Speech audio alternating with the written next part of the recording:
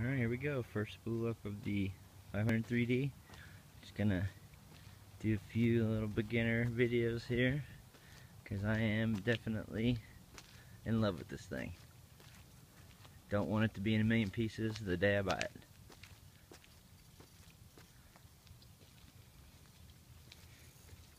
I just went through all the pre-flight checklist. We're just gonna do a little spool up here in the road by the house.